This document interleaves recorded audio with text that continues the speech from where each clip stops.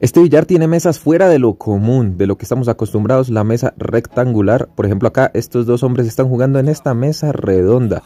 Tiene el mismo número de troneras, 6 hoyos, como tiene la mesa de pool tradicional.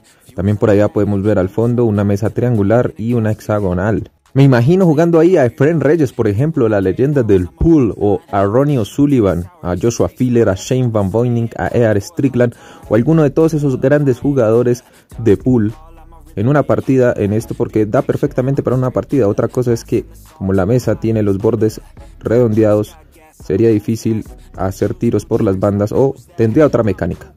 Dime tú, ¿jugarías en esta mesa? ¿Qué te parece?